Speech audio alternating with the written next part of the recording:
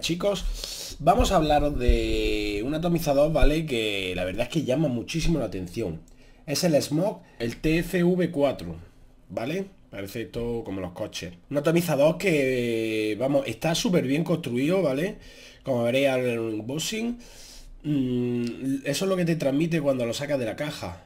Vale, estos de ya sabemos que son un poquito... Meten la gamba, ¿no? Intentan hacer las cosas bien, pero meten la gamba. La primera impresión que te da cuando lo abres, o sea, cuando lo sacas de la caja, es una, pasada. O sea, mm, muy bien construido. Quizás me recuerdo un poco al Unwell, ¿vale? Eh, al Chrome, que esto es la excelencia en construcción. No hay un ato que sea construya mejor. De tanqueta, yo no he visto. Pues este te da una sensación parecida. No llegas a la excelencia que tiene el otro, porque el otro es una pasada, pero está muy bien construido. Características principales son que le puedes meter resistencia eh, desechables o reparables. Las reparables que hay, la que trae es una single coil de como el Lemo 2, pero a lo bestia. Una single coil que vamos, tiene ahí espacio para meterle lo que quiera. Y la verdad es que a mí, a diferencia de los demás, es lo que más me ha gustado. Esa reparable. Ya os contaré por qué. Se le puede meter tricoil, como en el Smowell, ¿vale? El hack trick. O se le pueden meter quad coil. Quad coil, que ya ahora veremos en el, unboxing, que son cuatro resistencias, ¿vale? Que están montadas en paralelo, una encima de la otra. Cuatro. Tin, tin, tin, tin, La verdad es que su rendimiento es bestial. Vamos a verlo.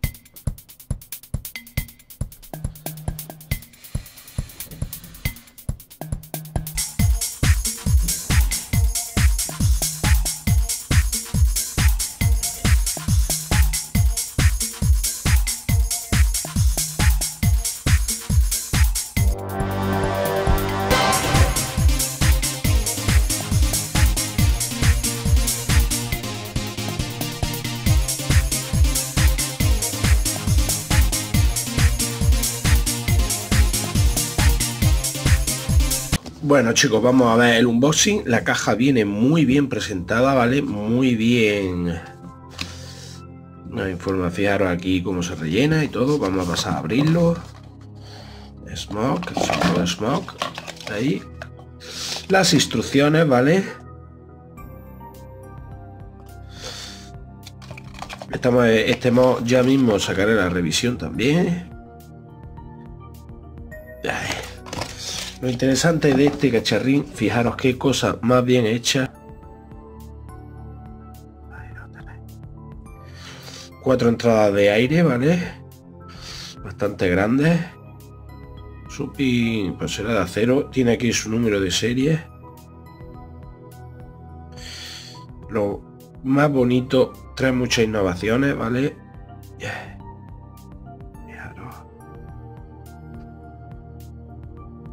El sistema de rellenado, su sistema de ventilación, el drip, ¿vale? de refrigeración para que no nos quememos los circuitos. Esto permite que siempre esté el drip fresco, ¿vale? Se puede calentar el ato, pero esto no se nos va a calentar jamás, porque entra por aquí y, va a esta camarita de aquí y hace que lo refrigere. Fijaros qué terminaciones. Vamos a seguir mirando las casitas. Ahora mismo lleva la, la tricoil puesta, ¿vale? Y aquí vemos que nos trae un poquito de algodón, dos gomitas, fijaros, un detallito, dos gomitas, un destornillador de los grandes como vimos en el, en el Chrome, pero esta vez de color negro. Una gomita de repuesto, ¿vale? Para la parte de, de arriba. Esto es que hace que no entre líquido y esté eso bien hermético. Un pire de repuesto y aquí vemos las dos resistencias. Bueno, la más interesante es, para mí es la reparable, ¿vale? Porque la verdad es que va muy bien y tenemos mucho espacio. Es como si fuera la de un Lemo 2. Pero si os fijáis, fijaros que... Fijaros qué canales de drenaje tiene. Si nos fijamos aquí en este pequeño detalle, ¿vale? Tiene aquí como unas entradas que por aquí entra el líquido y aquí choca contra contra el algodón. Pero si hay un como una especie de sobrante, se va a meter aquí hacia los lados, ¿vale? Y esto va a hacer que no tengamos meadas o que intente que las meadas sean lo menos posible. Fijaros el agujerito que lleva ahí dentro. Vamos, un lemo a lo bestia, porque fijaros qué housing tenemos. Para hacer, eh, qué espacio tenemos ahí. Es Y aquí por último yo creo que tendremos la, joya de la corona, que es la más bestia, ¿vale? Son cuatro resistencias en vertical. En paralelo, o sea, son una aquí, otra aquí, otra aquí, otra aquí. Todas en vertical. Y esto va impresionante. Su rendimiento es una pasada, ¿vale? Como ya podría adivinar. Va muy, pero que muy bien. Pero vamos a ver, voy a hacer una prueba aquí rápida. Vamos a meter este, el Smowell. Y vamos a probarlo también a 200 vatios con el modo pulse. A 200 vatios con el modo pulse, como tengáis las baterías cargadas, cuidadito que os podéis cargar la resistencia, ¿vale? Vamos a meterle, fijaros, Smowell, ¿vale? Que esto es lo más lo que más se le arrima porque por la forma de la resistencia salió antes que él.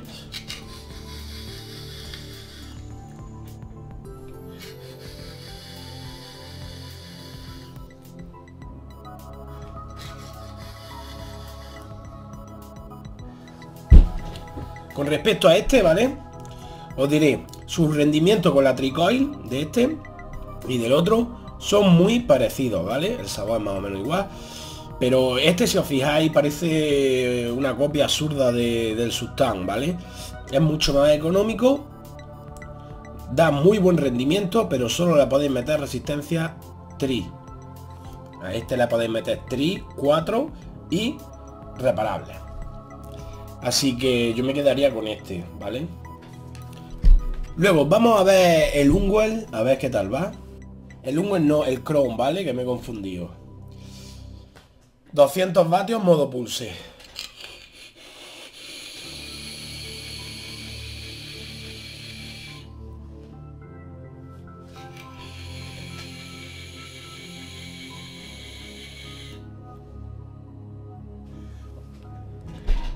Chicos, este lleva una 0.5 pierde un poco, nada, una mijilla de sabor contra la Tricoil. La calada es más agradable. Aguanta bien, el, aguanta mejor el modo pulse. No sé, está, está fabricado que es la caña. Le podemos poner un RBA, un reparable, ¿vale? Que viene aparte.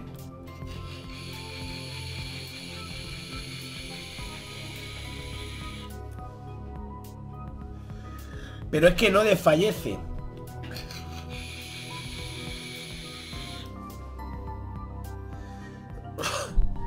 Joder, macho.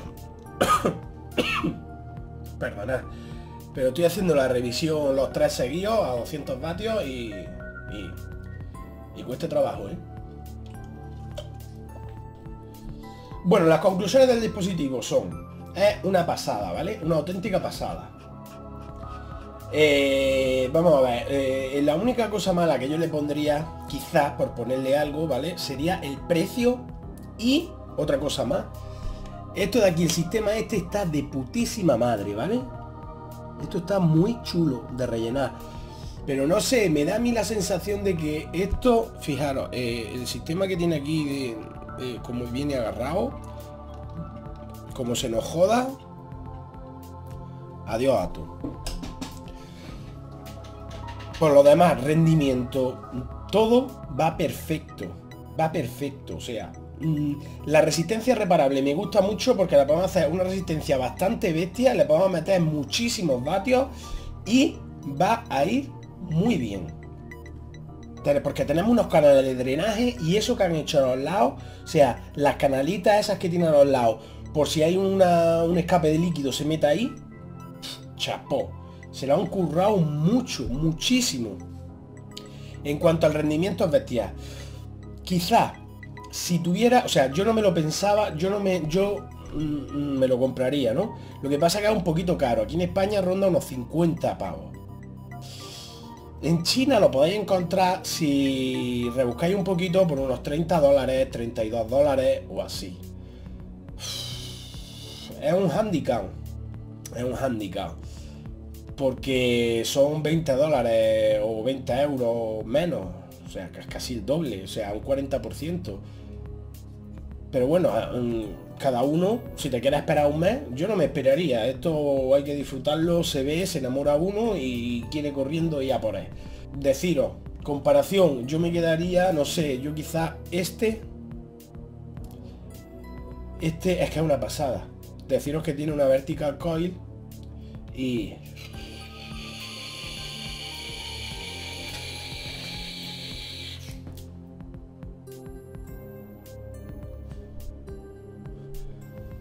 va de escándalo. Va de escándalo. Su rendimiento es excepcional. Así que chicos, vosotros mismos. Este ya sabéis cuál es, chicos. Este es el Chrome. El único que le puede más o menos arrimar. He probado también el, Tritón. Este se lo come con patatas, pero con patatas, ¿eh? Adiós Tritón. Y más o menos vale lo mismo. Así que yo me iría por este, pero de cabeza. Bueno chicos, sin nada más no me quiero liar más. Es un ato que vamos, han marcado estos demos. Impresionante, impresionante. Vamos, me gusta mucho, me gusta mucho. Así que sin nada más me voy a despedir, suscribiros, todo eso y... ¿Y qué más? Y ya está, que nos vemos en el próximo vídeo. Así antes de que se me olvide, eh, muchas gracias a todos por participar en el hashtag este. Ayer a las de 8 o 9 lo hemos petado. Y también muchas gracias, por quiero decirlo, a Gearbest por mandarme este cacharrín para que yo os lo pueda enseñar a vosotros. Sin nada más, ahora sí me voy. A tomar por culo, Feli.